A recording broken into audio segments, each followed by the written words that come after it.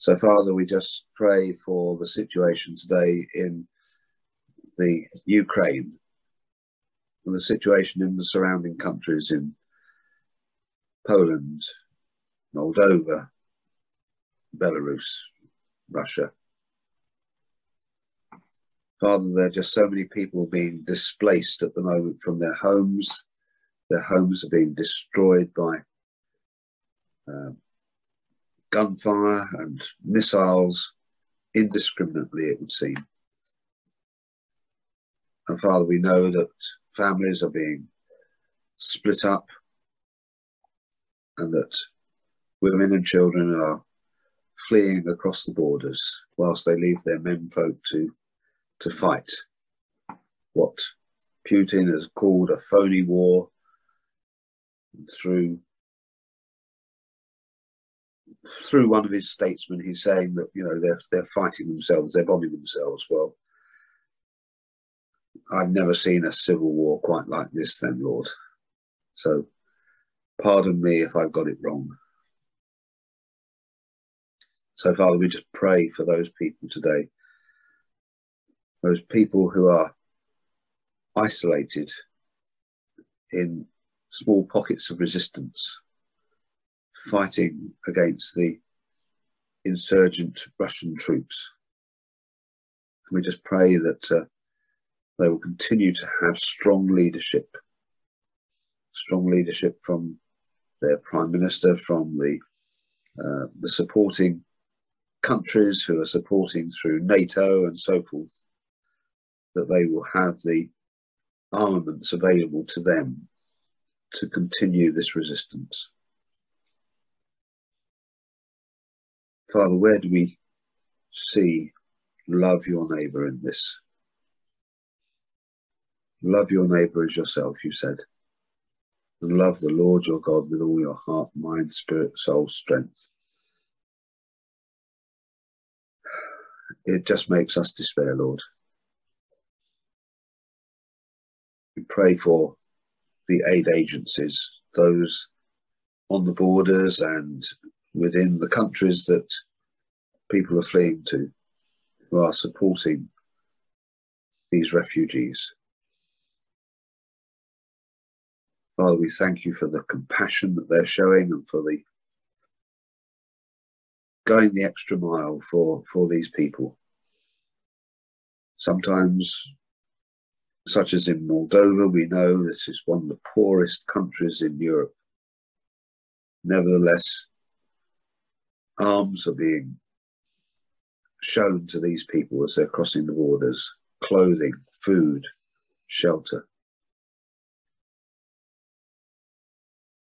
We pray for the churches that are involved in these efforts people who never know how much they've made a difference. They're just bound up with what they're doing, with the spiritual attack that's going on, and with the physical attack that's going on from the Russians. We pray for the Russian people who are standing up against Putin and protesting about the war about brother killing brother. Father, it must be so heart wrenching for you to see how your people are destroying themselves and the world that they live in.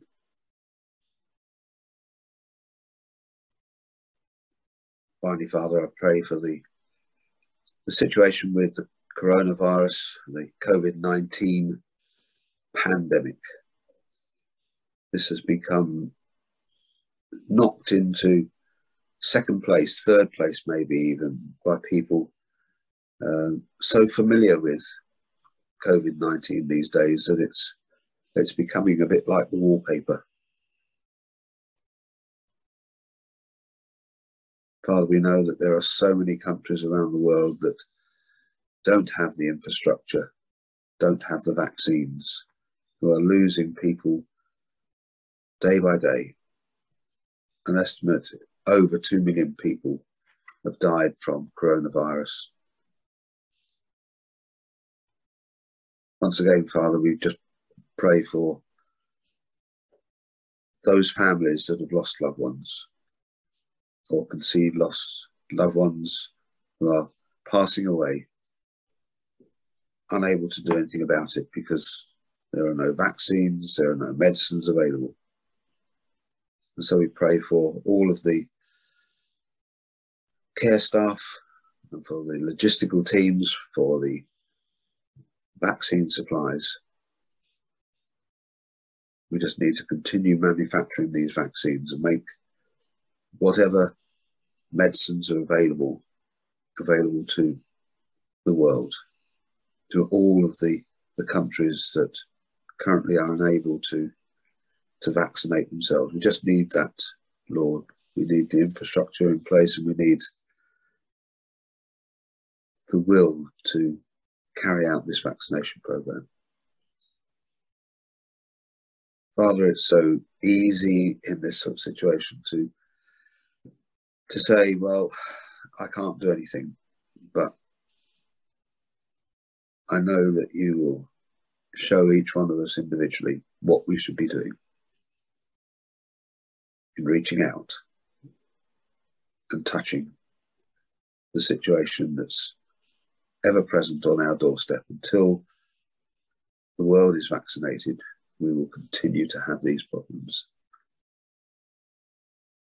If not this current variant, maybe another variant. It's it's just the way of life. But we just have to keep on praying, Lord. And we pray through the power of Jesus' holy name and through the power of the Holy Spirit within us. Amen. Amen. Loving Father, mighty God, Prince of Peace, I want to pray for children in Ukraine, for the traumatization of, of, of their young lives by this appalling conflict. To pray that you'll protect them, that you'll guard their minds and their emotions, that you'll keep them physically safe. It's not what any child should have to grow up with, Lord. Fleeing from their home and dodging bombs and bullets and things I can not even imagine. We ought to pray for their mothers too, because their mothers are the ones who are having to try and stay strong and keep the children safe as well as getting them out of the danger zone, very often without the help of their partners. We thank you that, that Ukraine has a strong leader who is not giving in to Russia's lies and villainy. There's no other word for it. It's almost like he's trying to wipe out the whole country. We just just pray that they will all stay strong and that they'll get the arms they need to resist Russian invasion. We pray for the people in Russia who are standing up against Putin, who are protesting in spite of all the, the risk of being arrested. We thank you for each one of them, Father, because they're doing your work in a land of evil. We just pray that you'll keep them safe as well, Lord. We pray that many more will come to protest to the point where the government will fall, Putin will be de- deposed, and this appalling war will stop. Father, it's so hard when a man's mind has become so twisted that he thinks he's got a right to trample over another nation. You know how to control him, Lord. You know how to control the whole situation. You can, oh, we just pray you're working it in the way you want to work in it, Lord, because for us it seems almost an impossible situation to solve. But we know you are working. You're working through people in Ukraine, you're working through people in Russia, you're working through the governments of, of NATO countries through aid agencies, through the churches, through so many ways, Lord. We just pray that people will listen to you listen to your word, and know that you're with them every step of the way. We pray this in Jesus' name. Amen. Amen. Oh, Father, Dad, once again we come running into your arms in prayer, knowing that you'll comfort.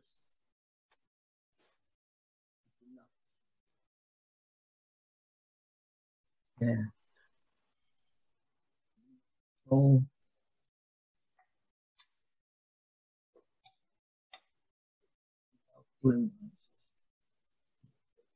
love to wipe our tears.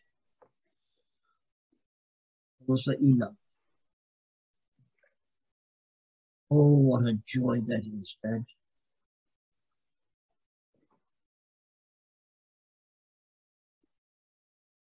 You have not left us. You come to live within us. Spirit.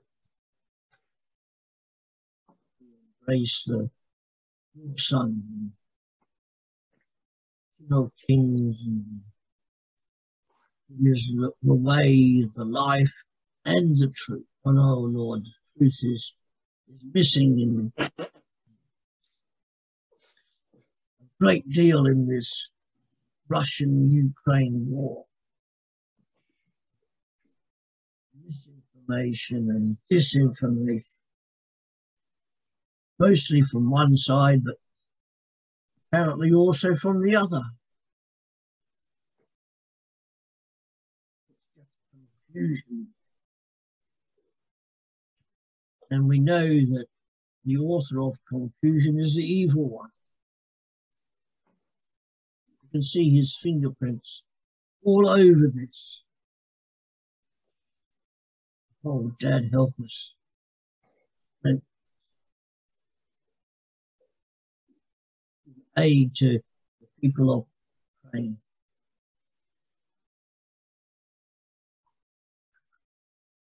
As well as help to those in Russia who are against the war.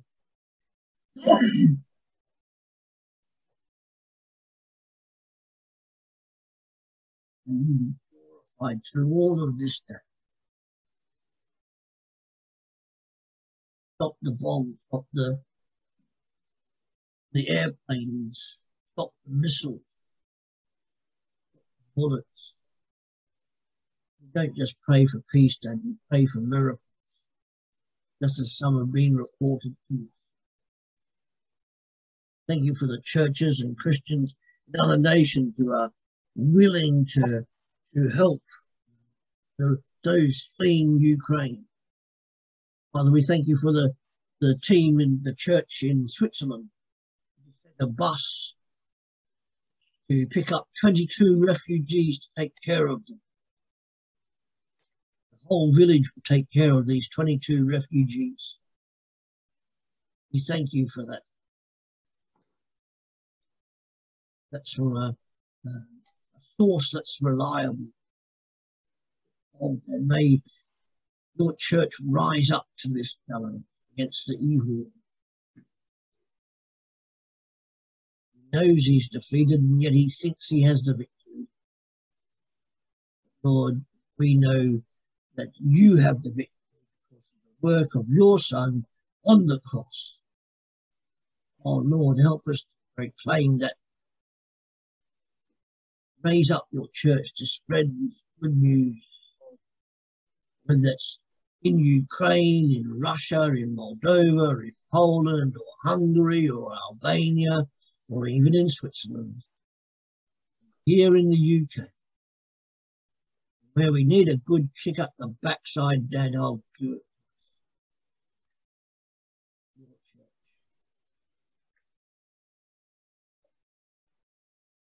That's the war in Ukraine, Dad, but we also have another battle which is within us.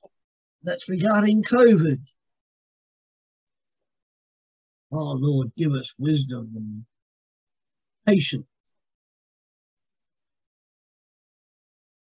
Wisdom in how to deal with it. We thank you for the vaccines that have been produced so far and the medicines.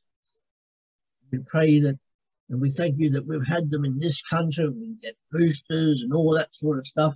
But Father, there's a whole swathes of people in continents like Asia and South America and Africa who haven't got access to these vaccines, Dad. Not because of will or anything like that, but because the distribution channels and the uh, manufacturing places haven't been set up or can't be set up. Oh, Dad, give us wisdom on how to do that.